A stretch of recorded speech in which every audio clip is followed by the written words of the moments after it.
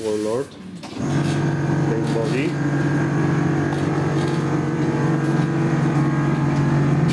Mata is doing some more Kingdom Death again. I love Kingdom Death lately.